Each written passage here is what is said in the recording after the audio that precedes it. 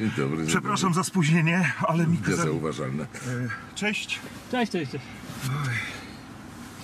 Wiedziałem, że to się tak wydarzy. I do wyjazdu tam czeka Łukasz, otworzy szlaba. Dobra, dzięki. Dzień dobry panie Krzysztofie. Dobry, dzień dobry. Łyk kawy. Słusznie. O tej porze. Aj, zadyszka. Zagadałem się z Jarkiem Kuźniarem. Muszę zapiąć pasy. Czy pan ma zapięte? Oczywiście. Ja jestem człowiekiem, który się stara przestrzegać przepisów. Ale nigdy w życiu pan nie łamie tam. Nie no, oczywiście, że łamię, ale się staram. Ja nie, nie, nie, ja nie powiedziałem, że ja nigdy nie łamię. E, ruszamy spod kinoteki z panem Krzysztofem Zanusim. E, będziemy rozmawiali za chwilę o pana najnowszym filmie. Proszę się nie bać. Jeździłem już, No liczę na to. Liczę jeździłem już tym samochodem, e, więc nie jest to mój pierwszy raz. No ale pan na dwóch etatach pracuje, rozumiem, bo pan jest Aj. prowadzącym i pan jest kierowcą. A płacą za jeden. Właśnie to mnie ciekawiło. Proszę sobie wyobrazić, że płacą za jeden. E, Panie Krzysztofie, bo ja chciałem zapytać o e, Pałac Kultury. Czy pan by go wyburzył? Nie, w żadnym wypadku. W żadnym wypadku, Dlaczego? on jest, wie pan, dlatego że no w ogóle takie wyburzanie, takie jak wie pan, przenoszenie grobów i tak dalej, to są takie małoduszne zajęcia. Mamy go, to mamy, jest on tak szkaradny, jak jest, ale jest śladem pewnych lat. Wystarczy go obudować innymi budowlami, żeby on tak nie dominował, bo to rzeczywiście przykre, że on jest ciągle najwyższym budynkiem w Warszawie.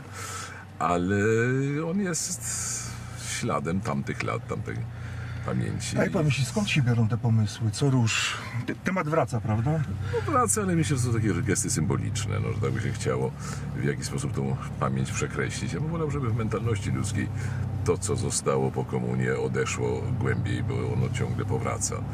Taka postawa roszczeniowa, że nam się należy i tak dalej, to są właśnie rzeczy, które by trzeba wyburzyć, ale one oczywiście długo, długo tkwią w głowach. Obserwuje pan, że wciąż mentalnie jesteśmy w, czasach minionych? No nie całkiem, bośmy już daleko wyszli, ale jeszcze ślady zostały. Co najbardziej pana denerwuje z tych takich śladów? Yy, Proszę pana, no właśnie ta postawa roszczeniowa, która mówi, że zamiast samemu zrobić, to ma, mają zrobić dla mnie, prawda? Że ja czekam, żeby mnie miasto obsłużyło, żeby mnie państwo obsłużyło. Yy, A tymczasem no, najważniejsze, żeby człowiek miał inicjatywę i próbował coś zrobić sam. To musi być pan trochę e, zawiedziony tą e, obecną ekipą, bo ta obecna ekipa uczy, mówię rządzącą ekipą, która uczy, że znowu państwo da. No więc to nie jest dobra tendencja takiego etatyzmu, ale no co zrobić? No, społecznie powra- powraca jako spuścizna tamtych lat. Mam, e, dobrze, no, e, pana nowy film, Eter, e, nie widziałem, od razu przyznaję. No myślę, że widzowie też jeszcze E, Jeśli nie, bo widzieli. 30 listopada Tak, e, wchodzi premiera e, wchodzi do kin. E, Natomiast czytam bardzo dobre recenzje. E, Ogromnie mnie to cieszy. Jedyna gorsza ukazała się w katolickim tygodniku Idziemy, to praska diecezja, ale tam zawsze są takie niechętne głosy, więc że to za mało, za mało wyrazisty i że za mało katolicki widocznie. No ale to jest film e, o zmaganiu się z szatanem. No ze złem, wie pan, bo Ze złem. szatana to ludzie nie lubią tego słowa nawet dzisiaj wymówić, e, może słusznie, ale że to zło jest taką potężną siłą, że my dzisiaj w czasach, no, żyjemy w dobrych czasach, no, w czasach łagodnych, czasach, kiedy nikt nie strzela, gdzie nie ma głodu, no tak powszechnie. Mm, oczywiście nie jesteśmy z tych czasów zadowoleni, ale one są lepsze niż jakiekolwiek inne czasy. A ja już mam dużo lat za sobą, więc ja pamiętam te czasy gorsze. I wiem, co w człowieku drzemie. Wiem, że coś z człowieka można nagle, z porządnego człowieka, czasem wychodzi jakiś potworna zupełnie zdolność do, do, do, do popełniania zbrodni, do robienia rzeczy strasznych. Tak jest- było za Hitlera, tak było za komuny. I to trzeba pamiętać właśnie w tych czasach, które są teraz dobre, że to nam zawsze grozi, że człowiek musi być bardzo czujny, pilnować, czy nie, nie ześlizguje się moralnie gdzieś w takie rejony, gdzie nagle z dobrego, porządnego człowieka robi się potwór. Bo to jest film o złym e, lekarzu, doktorze. E, opisywany jest jako thriller kostiumowy. Podoba się panu takie określenie? Proszę pana, każde określenie dobre, żeby tylko Państwo chcieli ten film zobaczyć. Oczywiście to jest film naprawdę troszkę filozofujący, to jest przypowiastka filozoficzna, ale ma formę thrillera, no dużo się tam dzieje, jest akcja, jest wątek szpiegowski i tak dalej, więc mam nadzieję, że to się nie ogląda e, tak e, nudno. Natomiast oczywiście to jest opowieść o kimś, kto wziął naukę jako narzędzie, nie do poznania prawdy, bo to jest szlachetna misja nauki, ale do tego, żeby dominować nad innymi ludźmi, czyli żeby mieć władzę. Nauka jako narzędzie władzy jest bardzo niebezpieczna. Nauka, która się boję. zastępuje Boga. Oczywiście to jest nauka, która jest tym scjentyzmem XIX-wiecznym, który ciągle jest jeszcze obecny. Może nie tyle wśród naukowców, ile wśród ludzi, którzy nad naukę mają jakiś wpływ. Więc o tym trochę to opowiadam. A dzisiaj, jeśli się spojrzy, bo to się wszystko dzieje przed pierwszą wojną światową, tuż e, Tak, tak, tak. e, żeśmy fabuła filmu. Taki e, kostium, żeśmy przyjęli. przed pierwszą wojną światową. Natomiast czy dzisiaj nie jest tak, że naukowcy jeszcze bardziej próbują bawić się e, Boga? No i tak i nie, bo jednak jest bardzo wiele różnych etycznych zakazów, które gdzie niegdzie prawdopodobnie są łamane. Wiemy, że są takie kraje jak Chiny czy Singapur, gdzie te zakazy, które wyrosły jednak z kultury zachodniej, z kultury judeo-chrześcijańskiej, y, są łamane. Nie, nie, nie, nie, chcę przestrzegać. I grozi nam to, że my sobie no, zepsujemy coś na tym, w tym świecie tak głęboko, nie tylko ekologicznie, ale w nas samych, że gen, zrobimy eksperymenty genetyczne, z których wynikną właśnie jakieś hybrydy. My jedziemy hybrydą, ale to, to jest niewinna hybryda, natomiast człowiek, który będzie połączony z komputerem, człowiek No zmodyfikowany właśnie. genetyczny, nie, a my po prostu zostaniemy jak tacy neandertalczycy, których trzeba będzie wytrzebić. No, to są mroczne wizje przyszłości. Oczywiście są jasne wizje, ale wybieramy między różnymi obrazami przyszłego świata, no, tym, co robimy dzisiaj. Znaczy, powiem szczerze, że jak czasami się nad tym zastanawiam, to zaczynam się bać. Właśnie tego, że powstanie rasa nadludzi, Ale to którzy- których będzie stać właśnie e, na e, kosztowne zabiegi medyczne, na manipulowanie e, No tak, genami. I oni do tego będą piękni, zdrowi, Tak. długowieczni, inteligentni. No, mieli nieskończoną pamięć, więc będą lepsi od nas. No to jest właśnie ta wizja nad człowieka, tego Übermenscha, który się teraz pojawia jako Superman. Yy, I oczywiście nic nauki nie powstrzyma przed tym, żeby próbować. A z drugiej strony, no możemy dojść do samozagłady. No ludzkość może zamiast siebie zobaczyć jakiś inny zupełnie rodzaj już nie człowieka, że wyprodukujemy swojego następcę. No wielki to jest problem i nie umiem go rozstrzygnąć, bo jak mówię, nauki się nie da powstrzymać. Nauka, ciekawość człowieka jest nieskończona, ale odpowiedzialność też istnieje i musimy do niej wracać. Jest dzisiaj miejsce, większe zapotrzebowanie mm, na Boga, według Pana? Oczywiście, oczywiście. Wiek XIX się skończył, wiek XX był takim wiekiem przełomowym, ale to, co nauka przyniosła, co przyniosła fizyka dzisiaj, e, kosmologia, cała ta wizja, która jest e, po Einsteinie fizyki, w której już nie ma determinizmu, w której została, wróciła tajemnica, w której okazuje się, że jest niewiadoma, przecież ta niewiadoma to jest w ogóle podstawa wszelkich uczuć religijnych. Jeżeli przyjmujemy tajemnicę, to wtedy już jesteśmy otwarci na wiele rzeczy, które XIX wiek jakby wykluczył. I stąd to czasami śmiesznie wygląda, że ludzie, którzy się mają za postępowych, dawno już postępowi nie są. A z kolei ci, których spychano na margines, okazuje się, że są czasami bliżsi prawdy, mimo że wygląda na to, że są w jakimś innym troszkę świecie. Że świat tajemnicy, to już to Einstein powiedział, że kto nie, nie czuje i nie widzi tajemnicy, ten jest ślepy i głuchy. I powiedział, że w tym sensie on jest człowiekiem bezwyznaniowym, ale powiedział, jestem człowiekiem w jakiś sposób wierzącym. To bardzo dla mnie mądre spostrzeżenie, to jest z połowy, z połowy XX wieku. Ale do tego dzisiaj świat zmierza, więc dlatego no, trzeba dobrze patrzeć, co jest postępem, co Znaczy, postępem no mówi się o, jednak o laicyzacji Europy. Laicyzacji na pewno, ale no, laicyzacja nie oznacza właściwie utraty pewnych instynktów religijnych. Raczej to chodzi o relacje z instytucją Kościoła, a ten w zasadzie, no, według swoich własnych wskazań, według Soboru Watykańskiego, nie powinien uczestniczyć tak w życiu politycznym, jak czasem uczestniczy, natomiast powinien zajmować pozycję moralną, która jest bardzo istotna, to znaczy stać na straży etyki, ale nie instytucjonalnie wiązać się z państwem. Przynajmniej tak zachodnia koncepcja chrześcijaństwa to przyjęła, na wschodzie jest cesaropapizm jest inny rodzaj relacji kościoła instytucjonalnego, powiedzmy cerkwi prawosławnej i państwa. Ale na zachodzie ta autonomia no, raczej na dobre nam wyszła i trzeba z niej wyciągać konsekwencje. A jak pan ocenia, panie Krzysztofie, e, zachowanie polskiego kościoła, jeśli chodzi o to ingerowanie w życie polityczne? Wie pan, ja nie bardzo się czuję w, w roli człowieka, który miałby y, oceniać. Ja jestem kawałkiem tego kościoła, bo się uważam za bieżącego, ale nie jestem zadowolony z siebie i z nas. To na pewno nie. Dlaczego? Wiem dlatego, że to, cośmy przeżyli, ten niesłychany wzlot, jakim był pontyfikat Jana Pawła, jakim były te lata posoborowe, kiedy Kościół się z wielu rzeczy oczyszczał, teraz jakby to mniej jest widoczne, natomiast jest wiele zaniedbań Kościoła, które to są tak wyszły na pierwszy plan. To przykro wygląda, no ale to nie jest skłamane, to jest prawda. No, wiele rzeczy źle się dzieje w tej ziemskiej sferze Kościoła.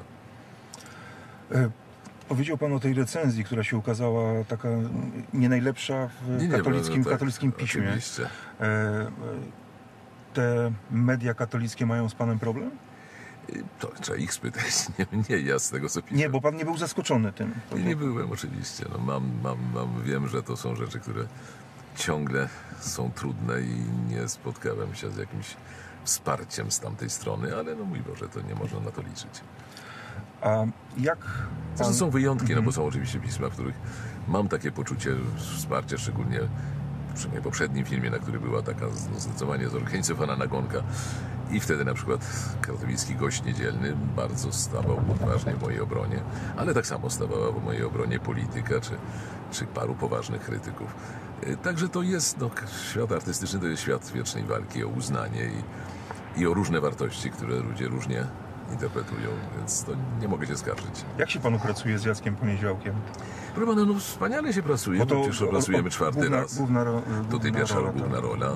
To jest bardzo silna osobowość, bardzo się nie zgadzamy w bardzo wielu sprawach. No właśnie, jestem, jestem ciekaw, bo jednak Ach nie, no kłócimy się bez przerwy, jak tylko mamy, znaczy kłócimy, no dyskutujemy i myślę, że kłócimy się pięknie, ale niezgodę mamy na wiele, w wielu tematach i to nie zmienia faktu, że właśnie bardzo go cenię jako artystę i bardzo ten film był dla niego trochę napisany i trochę dla Andrzeja Hery, który też zagrał rolę z gatunku tych swoich ról przerażających, bo on czasem grywa takie role podtatusiałe i jest wtedy miłym, czarującym panem, ale jest chyba jeszcze ciekawszy, kiedy gra rolę upiornych, upiornych ludzi. I tak tutaj zmusił go pan do tego? Namówiłem go na to, miał na to ochotę znowu. Tak jak w Długu zagrał rolę, po której no do tej pory czuję dreszcze. Niesamowita to. Pamiętam. A e, jak wygląda właśnie takie funkcjonowanie? No jeśli, no bo wrócę do tego Jacka Poniedziałka, jednak pewnie macie e, poglądy, światopogląd zupełnie inny. Tak sobie przedstawiam słowo światopogląd jest chyba filozoficznie troszkę marksistowskie. Ale mamy roz, odmaite, rozmaite zapatrywania na wiele rzeczy. Natomiast ja myślę, że to, co nas łączy, to to, że szukamy prawdy. No nie, nie upieramy się przy swoim. Wtedy się da rozmawiać, wtedy się da dyskutować. No, No właśnie, ale dyskutujecie często? Ale oczywiście cały czas, po prostu bez przerwy. Gdzie tylko się spotkamy, natychmiast zaczyna się bardzo energiczna wymiana zdań na tematy różne. Dzisiaj pan jedzie do Rzeszowa, tak? Pokazać? No muszę pokazać dzisiaj, robić premierę rzeszowską. Myśmy tam że- na Rzeszowszczyźnie kręcili parę dni. Dos, uzyskaliśmy od nich pomoc. Ale wie pan, ja bardzo dużo w ogóle jeżdżę po, po Polsce i no, uważam, że to jest taki psi obowiązek artysty. Jak korzystamy z pieniędzy publicznych, to mamy być też na publiczne wezwanie. Mimo, że jestem stary, zmęczony, to jeżdżę gdziekolwiek mnie właściwie zaproszą. I odkrywam naprawdę, że ta Polska widziana z metropolii, widziana z Warszawy, jest y, widziana niesprawiedliwie. Ta Polska głęboka jest dużo bogatsza, ciekawsza. Nie wyglądało się, że tyle ludzi wyjechało, że miasta są wyludnione. Nieprawda, jest tyle inteligencji na prowincji. Są tak Tyle się dzieje, pytania, prawda? tyle się dzieje, ale jest tyle inicjatywy kulturalnej. Naprawdę Polska jest lepsza niż nam się w Warszawie wydaje. To tak mówię naiwnie, bo ja po prostu przekonuję się o tym, ilekroć trafiam do jakichś miejscowości, a tutaj e, Kutno, a tutaj Mikołajki, a tutaj, no nie chcę wymieniać, bo byłem w kilkudziesięciu takich miejscach z różnymi spotkaniami, a teraz ja wydałem książkę, którą znaczy gdzieś tam podpisuję w różnych miejscach i to jest cudowne doświadczenie, naprawdę Dużo dobre. przychodzi na spotkania? Przychodzą, no właśnie przychodzą, mówię, nie powinni, dnia przychodzą. Ja parę lat temu wyprowadziłem się z Warszawy, mieszkam na podlaskiej wsi i też zmieniłem w ogóle spojrzenie e, na Polskę i, tę rzeczywistość, która z Warszawy wygląda, a, zgadzam się tutaj absolutnie, absolutnie e, inaczej. Czyli tak, dzisiaj Rzeszów, No dzisiaj E, Rzeszów. prezentacja no, filmu. Tak, jest. Jutro wracam, mam jakieś spotkanie z e, bankowcami, co też jest bardzo dla mnie ciekawe. Wszystkie takie spotkania z jakimiś grupami środowiskowymi to jest, to jest wielka przygoda, bo jesteśmy z trochę innych światów, a właśnie chcemy się spotkać. I A co potem, dalej? No pod Mamy koniec tygodnia jadę na Ural, no jeżeli wydarzenia czegoś nie zakłócą, wydarzenia polityczno-militarne, ale tam jadę na, pokazuję, mam jakąś masterclass w Jekaterynburgu. No, Strasznie zajętym człowiekiem pan jest. Ogromnie, zważywszy, że prawie mam 80 i powinienem być spokojnym emerytem, to jakaś łaska boska, że mam tyle zajęć i jeszcze siły, żeby to wszystko robić. E, Kolejny film. Y, Mam złożony w telewizji, no i teraz nie wiem, bo nie, nie, długo nie mogę się doczekać żadnej reakcji, więc może będę składał w innych telewizjach. Taki bardzo ambitny miniserial, bo widzę, że ludzie polubili miniseriale, a to w przeciwieństwie do tych zwykłych seriali jest szlachetny gatunek. To jest, prawda, tak jak powieść parutowa. Wspaniale się rozwinęło to. Tak, więc to poszło w jakimś dobrym kierunku, a ludzie lubią coś oglądać w domu. Oczywiście ja bym wolał, żeby chodzili do kina. I mam nadzieję, że na cwał pójdą do kina, ale na e, eter. Eter. Ale na cwał kiedyś poszli bardzo, bardzo wiernie. Więc y, mam nadzieję, że to mi się uda zrobić. W mam plany, nie jestem, nie jestem jeszcze chętny, żeby się wycofać. A o czym ten serial życia. będzie? Proszę pana, o tym troszkę, o czym jest też i eter, tylko w inny sposób. To znaczy o, o poczuciu czasu, o tym, że czas dla nas płynie w jakiś sposób, ale to nie jest taki sposób, który można nazwać obiektywnym biegiem czasu. I to i Immanuel Kant zwraca uwagę, że ten czas jest przypisany do człowieka. I to samo wynika właściwie z obserwacji, z obserwacji życia, jeżeli się patrzy przez pryzmat fizyki, jak ten świat tajemniczo się przesuwa. Ostatnie pytanie. Oglądał pan Kler Smarzowskiego? Nie, ale znam scenariusz, bo głosowałem za tym, żeby mu przyznać e, subwencję i za to teraz... Dostaje pan po głowie. Dostaje, dostaje. Ale niesprawiedliwie moim zdaniem, bo niech ktoś się odważy powiedzieć, że ten film nie miał prawa powstać. Jeśli ktoś tak powie, no to wtedy jesteśmy w konflikcie, bo ja uważam, że miał prawo powstać. On nie dotyka uczuć religijnych, on nie obraża Pana Boga, czyli mnie też nie obraża w żaden sposób, a jest nieprzyjemnym obrazem Kościoła. Ale będzie chciał pan obejrzeć? Ale oczywiście, bardzo szukam wolnego dnia, żeby gdzieś wpaść do kina, bo bardzo mi zależy, żeby to zobaczyć i ja, tak jak wiem, że z, scenariusza, to jest bardzo krytyczny obraz, pewnie niesprawiedliwy, stronniczy, ale to przecież artyście wolno, no hierarchii kościelnej, widzianej od najgorszej strony, ale wiem, że tam w scenariuszu też były motywy jednak bardzo takie ludzkie, pełne miłosierdzia, więc to nie jest obraz jakiś ohydny, no ale zniechęcający, tylko że no, jak wiemy, on jest wysnuty z, z, obserwacji. Tacy, tacy ludzie i takie postacie pojawiają się niestety w kościele. Bardzo dziękuję za rozmowę. tak, E, czekam na serial. Chyba wszyscy czekają. I 30 listopada. tak 30 listopada, Eter, Eter. Krzysztofa Zanussiego w kinach. E, polecamy. E, ja wybieram się koniecznie, ponieważ naczytałem się tych recenzji e, i przyznam, że zdecydowana większość, powtórzę to, jest bardzo pozytywna i, i komplementuje pana za, za, za pana nowy film. Dziękuję bardzo. 30 listopada, Eter w kinach. Dziękuję, Dziękuję. bardzo. Krzysztof Zanussi był naszym gościem, a teraz Krzysztof Kwiatkowski. Dziękuję bardzo. Dzięki wielkie. E, tak, proszę